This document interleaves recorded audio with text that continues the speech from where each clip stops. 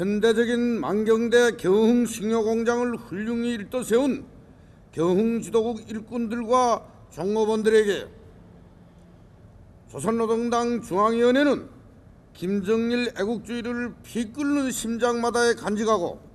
결사 간철이 투쟁 기풍을 높이 발휘하여 만경대 경흥식료공장을 훌륭히 일떠 세운 경흥지도국 일꾼들과 종업원들에게 뜨거운 감사를 보낸다.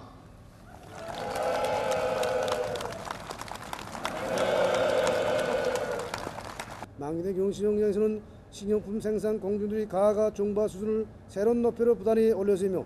흰쌀티 가절을 비롯한 식료품의 질을 결정적으로 높이고 위생 안전수위 철저히 보장된 식료품들이 더 많이 생산한 한편 생, 생산 설비와 원료 자재 국산화를 실행해 투쟁을 계속 임게 벌려 인민 생활 향상에 이바지는 실리 있는 공장으로 더욱 발전시켜 나가야겠습니다.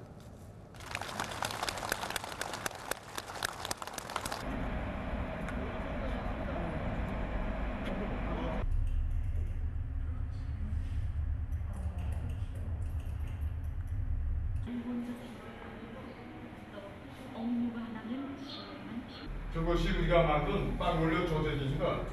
여기 종합조정실에서 원료 배합기를